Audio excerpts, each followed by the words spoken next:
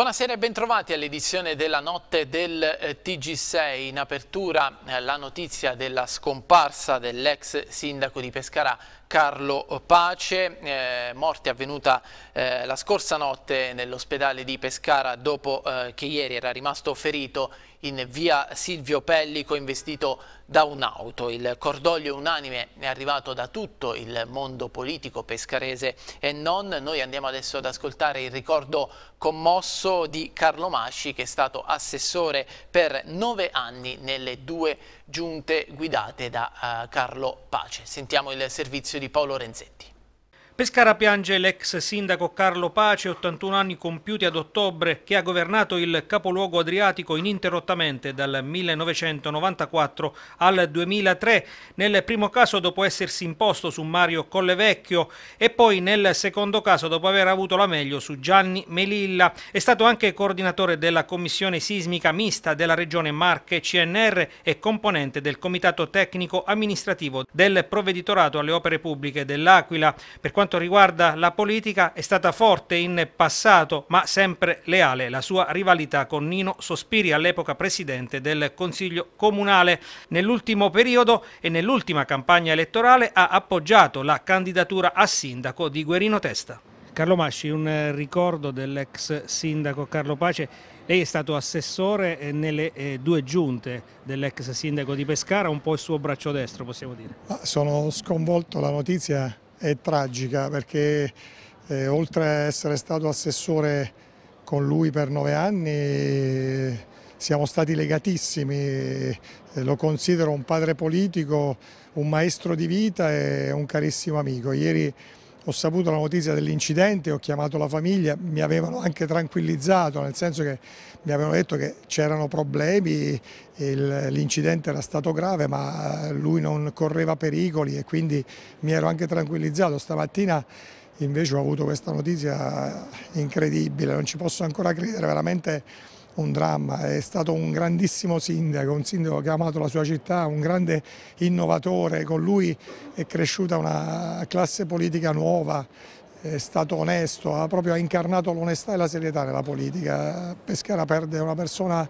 di grandissimo livello, di grande spessore, un uomo che sarà ricordato da tutti per la sua serietà e la sua correttezza. Un uomo politico eh, molto considerato, apprezzato anche eh, dal centro-sinistra, questo non accade sempre? Assolutamente sì, perché è stata una persona onesta, non è mai stato un politico nel vero senso del termine, della parola, è stata una persona che si è messa a disposizione della collettività e lo ha fatto in una maniera bellissima, Pescara con lui è rinata, ha avuto un grande sviluppo, eh, tante novità, lui amava le novità, era una persona apertissima. E, e con lui ho ricordi incredibili, momenti bellissimi di vita che rimarranno scolpiti nella mia mente, una grande perdita per la città anche come, come esempio di vita. Come esempio di vita.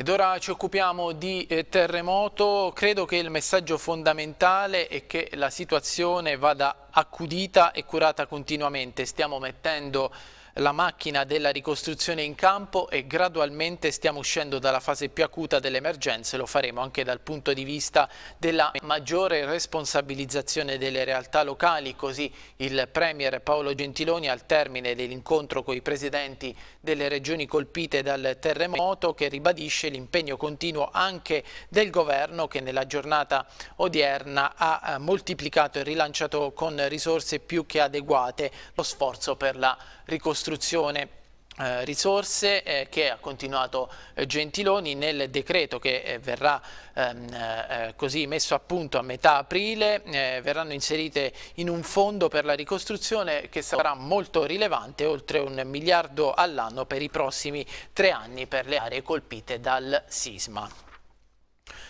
Ma eh, ci sono anche critiche al decreto terremoto e arrivano dal eh, centrodestra che denuncia troppe ombre, eh, almeno questo è quanto sostiene il parlamentare azzurro Fabrizio eh, Di Stefano illustrando anche le proposte del centrodestra abruzzese. Abbiamo visto due decreti diversi, noi e il Presidente D'Alfonso. Già quando uscì eh, dal governo D'Alfonso si dichiarò estremamente soddisfatto perché tutto ciò che aveva chiesto era stato recepito. poi il decreto è arrivato in commissione e quindi in aula e in commissione eh, è stato inserito il cratere che non c'era, anche se non ci è soddisfatto per come è stato fatto. È stato inserito eh, l'equiparazione sul nostro emendamento dei danni da maltempo nel cratere equiparati ai danni da terremoto, in particolar modo le frane, anche se è rimasto fuori, escluso tutto, tutto quello che è fuori cratere. È stato inserito la, eh, un, il, il danno indiretto, anche se con solo 22 milioni di euro per quattro regioni mi sembra davvero poco. Tutto il danno meteorologico non trova risposta se oggi i sindaci di Teramo, Ascoli, Macerata e Spoleto, quindi di centrodestra e di centrosinistra, dicano, dicono che i comuni sono stati lasciati abbandonati e che rischiano il dissesto, evidentemente dentro questo decreto non c'è nulla per le amministrazioni locali. Eh, se eh, il eh, cratere è stato ampliato ma sono rimasti fuori comuni come Penne, come Catignano, come Penna Sant'Andrea, come Basciano, significa che eh, qualcosa non è andato bene. Eh, se si è avuto almeno oh, la deroga al ridimensionamento dell'ospedale di Popoli, anche se sottoposto al tavolo di monitoraggio, quindi ancora con un grande punto interrogativo, e viceversa, per penne non si è fatto nulla, si vede che qualcosa non è andato bene. Francamente un decreto che non ci piace. Sono stati prorogati al 10 di aprile i termini per la presentazione delle domande di sostegno alle stalle colpite dal sisma per la perdite eh, di reddito degli allevatori provocate dai decessi e dal crollo della produzione di latte del 30% per lo stress e per il freddo ma anche per la perdita di mercato causata dallo spopolamento. Eh, quanto rende noto la Coldiretti nel sottolineare che le misure straordinarie sono fissate in 400 euro a capo bovino, 60 euro a capo ovi caprino e 20 euro per ciascun suino e, e in più 45 euro per ehm, le scrofe, 100 euro ad equino. Ed ora invece ci occupiamo della politica eh, teramana, quarto rimpasto di giunta per il sindaco Maurizio eh, Brucchi, entra Ehm, nel governo della città Alfonso Di Sabatino Martina che si occuperà della ricostruzione e che per mesi aveva criticato e chiesto le dimissioni del primo cittadino. Il servizio è di Tania Bonnici Castelli. Quarto rimpasto della giunta Brucchi. Ormai è cosa fatta o quasi. All'istruzione entra Caterina Provvisiero in sostituzione dell'assessore dimissionario Francesca Lucantoni e poi la grande novità. Anche il riottoso Alfonso di Sabatino Martina entrerà nell'esecutivo con delega alla ricostruzione.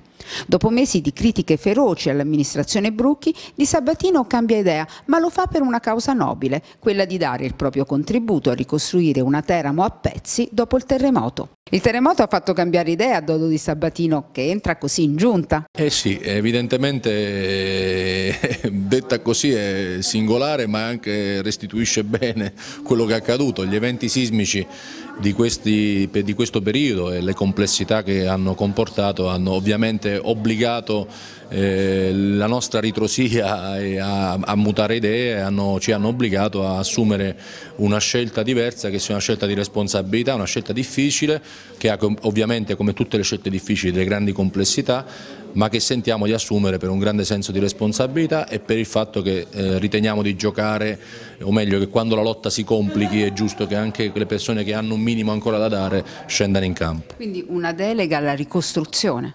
Dovrebbe essere questa, almeno a quello che leggo anche dalle vostre indiscrezioni, sicuramente sarà, immagino che sia una delega eh, di questo tenore, complessa, difficile da gestire, con una serie di questioni che ovviamente non vi sfuggono, attengono sia alla, alla pianificazione strategica, anche alle scelte importanti da compiere sulle scuole, sulla città, sul, sul patrimonio pubblico, su operazioni di investimento privato, sull'attrazione di capitali. Sono ovviamente una delega che presuppone un, un impegno full time, che presuppone un atteggiamento di grande disponibilità. Non è la delega del sottoscritto, questa è la delega della città. Questo ci tengo a dirlo perché su questa cosa dobbiamo lavorare tutti e mi auguro che anche questo, questa, diciamo, questa, disponibilità venga raccolta anche dall'opposizione perché, ripeto, questa città deve rialzarsi, lo deve fare nel, minor, nel miglior modo possibile, nel minor tempo possibile, lo deve fare con la schiena dritta, con grande dignità. Consumi in calo in Abruzzo, a dirlo è un'indagine del Cresa che eh, spiega però che una lieve ripresa è già in atto. Vediamo. Oggi c'è questo convegno a Chieti a cura del Cresa per parlare delle famiglie abruzzesi, di come vivono oggi le famiglie abruzzesi e soprattutto dei loro consumi. Qual è la situazione e cosa è emerso da questa indagine? I nostri dati si riferiscono alla, uh, alla precedente rilevazione di cinque anni fa. Eh, in questi cinque anni i consumi degli abruzzesi sono diminuiti di oltre il 10%, una quota che diciamo, decisamente importante perché eh, eh, però rappresenta la crisi che stiamo vivendo, una crisi che colpisce tutte le famiglie e che ha portato ad una diminuzione tra l'altro di consumi in maniera ovviamente anche articolata, nel senso che il consumo alimentare rimane sostanzialmente stabile, cosa estremamente interessante rimane stabile il consumo di istruzione, quindi eh, c'è eh, una volontà di futuro perché si investe su, sull'istruzione sui giovani, scende eh, il consumo dell'elettronica e beni di consumo in, in, termini più generali. Un, una discesa significativamente inferiore a quella nazionale, quindi diciamo una regione in crisi e questo purtroppo ne fa la fotografia. Noi con i dati congiunturali abbiamo verificato che nel, negli ultimi trimestri c'è stata una crescita della, uh, del, della produzione di valore del prodotto interno interno regionale è una, è una crescita e un'uscita dalla crisi che è ancora a macchia di leopardo, nel senso che sono uscite dalla crisi le grandi imprese, una parte il mondo delle piccole imprese, in difficoltà sono le medie imprese, il mondo dell'edilizia non riesce a riprendersi nonostante la ricostruzione aquilana. Ed ora la cronaca, due anni dall'apertura dell'inchiesta sul fallimento di eh, Soggesa e a quasi un anno dall'archiviazione per gli ex presidenti Cirsu, Luciano D'Amico e Lunella Cercuoni, la Procura firma l'avviso di conclusione delle indagini contestando l'accusa di bancarotta ad otto persone, fraudolenta patrimoniale per i tre componenti dell'allora CDA di Cirsu e Soggesa, Angelo Di Matteo, Diego De Carolis e Andrea Ziruolo e i due consulenti Mary Pistillo e Lorenzo Giammattei e preferenziale nei confronti dell'ex presidente del CDA di Sogesa Gabriele Di Pietro, dell'ex amministratore delegato Giovanni Marchetti e dell'allora presidente del CDA e amministratore delegato della Deco Paolo Tracanna. Secondo l'accusa, dopo l'acquisizione da parte di Cirsu anche delle quote di AIA in Sogesa a fine 2011, con la società diventata interamente pubblica e con i due CDA coincidenti, i vertici del Cirsu avrebbero occultato eh, la maggior parte dei 3 milioni dei crediti vantati da Sogesa nei confronti del Consorzio. Andiamo avanti con il giornale, la ASL di Teramo e la casa circondariale di Castrogna hanno firmato un accordo per disciplinare le procedure di prevenzione dei suicidi in carcere. Vediamo. Dal 2012 ad oggi all'interno del carcere di Castrogno a Teramo si sono verificati cinque casi di suicidio e diversi tentati suicidi, questi ultimi fortunatamente sventati dalle guardie penitenziarie.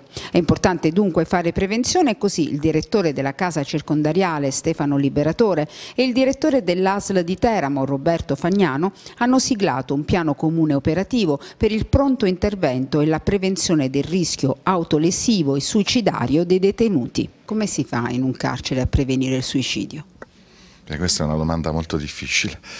Come si fa? Si fa attraverso strategie di comportamento partecipato, attraverso una cooperazione tra tutti gli operatori penitenziari, istituzionali, paraistituzionali che insieme con tutte le loro forze trovano gli accorgimenti necessari per cercare di contenere, diciamo forse la parola giusta è contenere questo disagio che purtroppo esiste e esisterà sempre. Uno dei punti salienti dell'accordo firmato tra ASL di Teramo e Casa Circondariale di Castrogno è quello della creazione di uno staff multidisciplinare in grado di prendersi cura dei soggetti che manifestano intenti autolesionistici.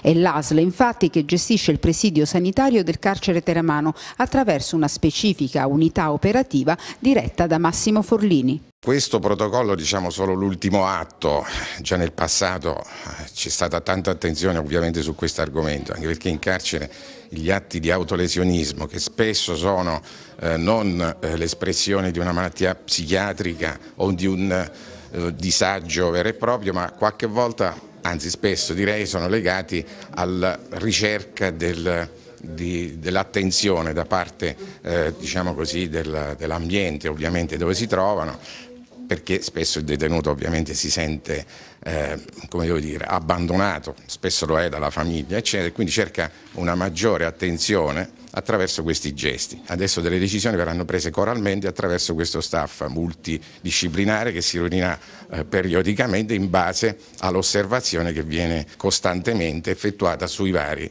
detenuti. Adesso torniamo a Pescara. Il consigliere comunale della lista Teodoro Massimiliano Pignoli ha illustrato questa mattina i motivi che lo hanno spinto a scrivere una lettera al prefetto e al presidente della Tua affinché vengano posti in atto i eh, provvedimenti adeguati dopo l'ultima aggressione avvenuta sabato scorso su un autobus urbano. Consigliere Pignoli, dopo gli ultimi episodi di violenza accaduti su alcuni mezzi pubblici della tua, lei ha scritto una lettera al prefetto di Pescara chiedendo eh, di prendere provvedimenti e soprattutto di tutelare maggiormente la sicurezza del personale che lavora sui pullman. Sì, ha detto bene lei, non solo al prefetto, ho scritto a questore, ho scritto al comandante della Polizia Municipale, ho scritto al sindaco, ho scritto anche al presidente della commissione eh, che dirige l'ordine di sicurezza che è il dottor Pier Nicola Teodoro affinché si individui un tavolo eh, per eliminare questo problema. Ormai è un problema annoso, eh, persone anziane bambini, genitori sono intimoriti nel prendere il pullman. Questo non è possibile in una città bella, una città democratica, una città splendente come la città di Pescara. Dobbiamo risolvere assolutamente questo problema, individuare attraverso un bando, attraverso una concertazione privata, poi verranno loro quale modus operandi è meglio nel, nei limiti e del rispetto della legge,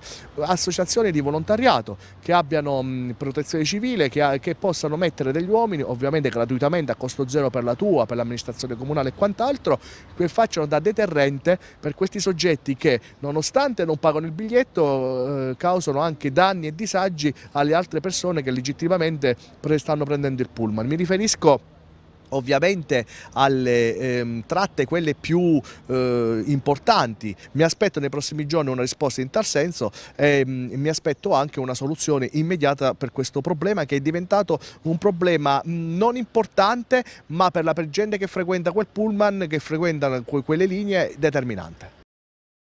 A San Giovanni Teatino il Movimento 5 Stelle con il consigliere comunale Mario Cutrupi questa mattina ha chiesto eh, chiarezza sulla gestione dei campi da tennis della cittadella dello sport. Consigliere Cutrupi, oggi si parla del circolo tennis qui della cittadella dello sport di San Giovanni Teatino. Voi nel comunicato avete scritto il circolo tennis di San Giovanni Teatino è malato. Perché? Qual è il problema? Il circolo tennis è malato anche essendo una bellissima struttura fatta da 10 campi da tennis, non riesce a mantenersi ed è malato della stessa malattia che fino ad agosto dell'anno scorso era malata la piscina comunale. Adesso la piscina comunale, avendo tolto i privati e gestendola in prima persona come società pubblica, la piscina comunale è rinsavita, sta completamente bene vive da sola e non pesa sui soldi dei cittadini. Potremmo utilizzare lo stesso metodo per il circolo tennis, dovremmo utilizzare lo stesso metodo. È un obbligo verso il sindaco, verso l'amministrazione la, che aumenta le tasse ai cittadini perché deve pagarne i servizi e non risolve problematiche così che andrebbero a incidere meno sulle tasse dei cittadini. Ma nel concreto qual è il problema dei campi da tennis qui della cittadella dello sport? L'associazione del tennis non pagava da un sacco di tempo le, eh, neanche il, i, quei Piccole, quelle piccole cifre che avrebbe dovuto pagare. Quindi come facevamo a fare la manutenzione? Come facevano a fare la manutenzione? Ed ecco che un circolo del genere decade, invece un circolo del genere deve diventare un altro gioiello per tutti i cittadini di San Giovanni Teatino. E per farlo è semplice, abbiamo già la soluzione, non c'è da inventarsi niente, la stessa società può gestire il, sia il, la piscina che il tennis, semplice. Ed ora siamo al calcio, in particolare iniziamo dalla Serie A e dal Pescara, biglietti esauriti e grande attesa per la partita di domenica prossima all'Adriatico Cornacchia tra Milan e Pescara. Sarà il momento del ritorno d'avversario dell'ex bomber Gianluca Lapadula, mentre Zeman non è ancora sicuro di avere a disposizione Stendardo e eh, Caprari. Il servizio è di Andrea Costantini. Nonostante il Pescara abbia più di un piede e mezzo in Serie B e alta in città l'attesa per il match di domenica prossima contro il Milan, la prova si è avuta ieri quando la dotazione di biglietti è stata polverizzata in 5 ore tra acquisti online nelle ricevitorie e la società costretta a rimandare al mittente alcune delle richieste provenienti da club del centro-sud Italia. Dunque oltre 20.000 persone saranno presenti, tra le altre cose, al ritorno in riva all'Adriatico di mister 30 gol Gianluca Lapadula, l'uomo l'uomo che nell'Abruzzo ha trovato la sua fortuna, ma che a sua volta ha fatto le fortune di squadre abruzzesi, prima da protagonista nella promozione in B del Teramo, poi negata dalla giustizia sportiva. Quindi da assoluto re dei bomber della cadetteria con le 30 prodezze che hanno portato il Delfino in Serie A, passando per i playoff. La Padula all'Abruzzo è profondamente legato, tanto da tornare appena può a salutare amici ed ex compagni di squadra, ma domenica da avversario cercherà il gol per aiutare il Milan nella rincorsa all'Europa sempre che Montella gliene dia l'opportunità, cosa non accaduta all'andata quando uno dei migliori Pescara di Massimo Oddo fu superato solo dalla punizione beffa di Bonaventura, ma l'attaccante torinese rimase in panchina per tutti i 90 minuti. Con Deolofeo e Ocampos esterni il ballottaggio sarà con Bacca. Montella dovrà valutare se il colombiano di ritorno dalla nazionale sarà subito pronto per partire dal primo minuto, altrimenti spazio alle grande ex.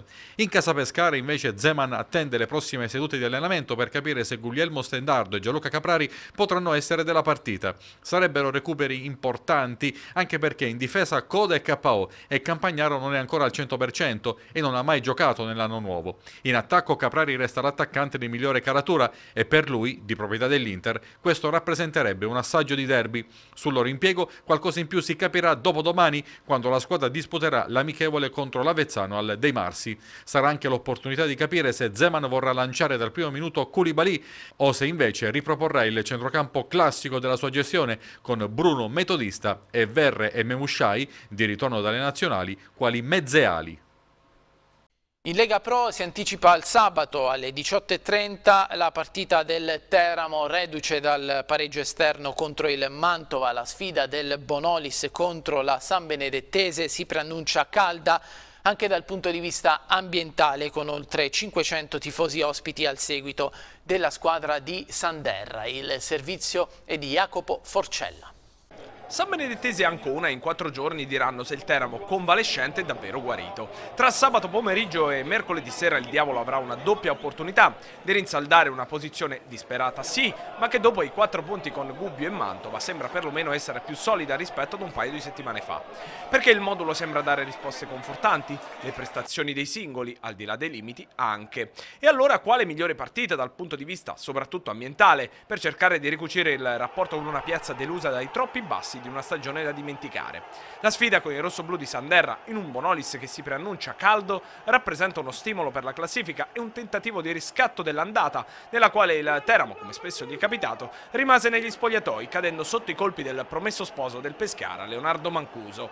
Ugo Lotti spera di riavere quanto prima Mirko Petrella per avere la possibilità di cambiare pedine in corso d'opera. L'esterno d'attacco, dopo i problemi alla schiena, a Mantova ha dovuto alzare bandiera bianca per colpa del polpaccio. La salvezza diretta è lontana ad oggi solamente 4 lunghezze, anche se in teoria per via degli scontri diretti proprio col Mantova sarebbero 5. Ed ecco perché occhio agli incastri, soprattutto alla gara del Tullio Saleri dove il Lumezzane sfida l'Ancona e alla partita del Mancini tra Fano e Mantova. Sfide però che si giocheranno conoscendo già il risultato di Teramo San Benedettese, con in campo gli ex Luli e Bernardo sul fronte rosso-blu e con almeno 500 tifosi al seguito. Dall'altra parte una squadra in ripresa e con la voglia di evitare un fastidioso, quanto molto pericoloso pesce d'aprile.